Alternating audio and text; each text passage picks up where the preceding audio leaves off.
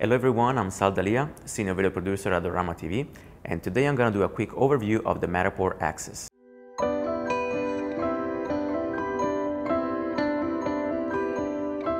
You probably know Matterport because of the amazing 3D mappings used in real estate so that you can actually walk inside the listings when you're looking at an apartment.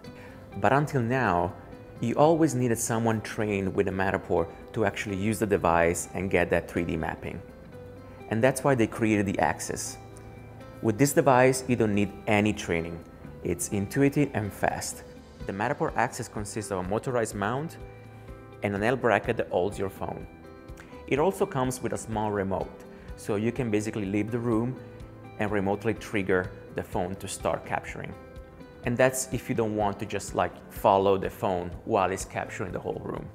So the smartphone and the motorized mount work together to give you a consistent capture of the space. It could be your home, your office, your shop, whatever you need. Uh, the Axis makes pro-level scans from your phone that you can save on your Matterport account. Let me show you how the Axis works. Once you open the app, you can of course allow the app to geotag you. So your project is gonna have the name of the address where you are. You can just open a new project, automatically the geotag is gonna give you the address where you are and you can save it. There are two basic modes, the 3D scan and the 360 capture. The 3D scan is gonna create a 3D model by mapping the room, while the 360 capture is gonna stitch the photos together. You can also do a simple scan or a complete scan to save in time and resolution. You have to follow just a couple of simple rules to center and balance your phone. Of course, you can use the Axis also by hand holding. Uh, I just prefer the tripod a lot better because it's gonna keep uh, the phone stable and I know that the stitching is gonna be very precise. Once that's done, you just have to follow the instruction on the phone. It's gonna ask you to basically center this white dot in the circle and then just let the machine do its job. It's gonna go to 360 and stitch all the images together.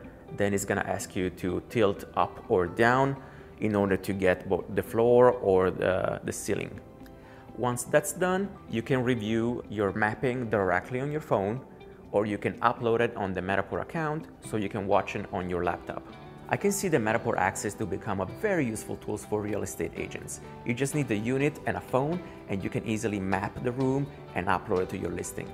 I personally am not a real estate agent, but as a filmmaker, uh, I use it for map a space and use it to do uh, special effects and 3D art uh, because you always need to know where the light source are. If you want to know more about the Matterport Axis, click the link down in the description. And if you want to know more about my experience, just leave a comment below. Subscribe to Adorama TV and I'll see you next time.